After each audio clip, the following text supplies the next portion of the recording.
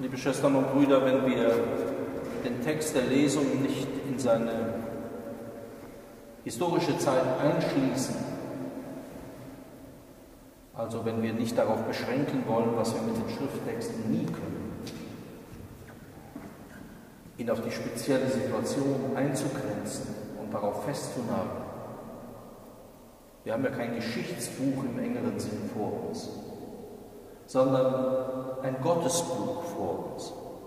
Warum würden wir sonst solche Texte lesen?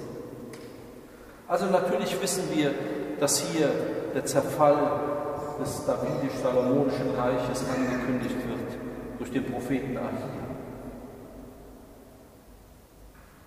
Nach dem Tod Salomos wird das geschehen, was wir gestern hörten, was angekündigt wurde. Dein Knecht wird sich deines Reiches bemächtigen. Jerobeam.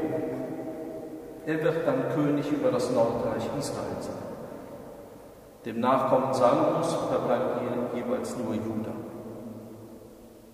mit Jerusalem. Wenn wir in diesem Text nicht auf diese Situation festlegen, dann stellt er wahrhaftig viele Fragen. Da fällt das Stichwort vom neuen Reich.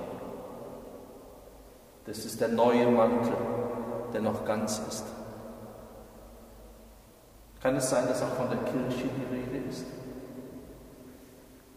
Wir legen ja sonst großen Wert darauf, dass wir sozusagen das neue Bundesvolk Gottes sind. Kann es sein, dass hier sogar von dem Zerfall der Einheit der Kirche die Rede ist? In verschiedenen Teilen. Wir beklagen das zwar manchmal lauthals, aber wir fragen vielleicht zu wenig nach den Ursachen. Denn nicht nur sind es diejenigen, die sich dann Teile der Kirche bemächtigen,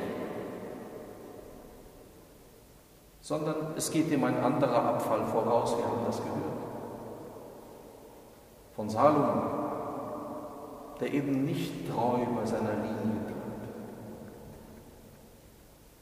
dieser Text nicht ein Licht darauf wirft, warum wir die kirchliche Einheit, die so wichtig wäre für das Zeugnis der Botschaft Jesu, warum wir sie verloren haben und warum wir sie bis heute nicht zurückgewinnen konnten?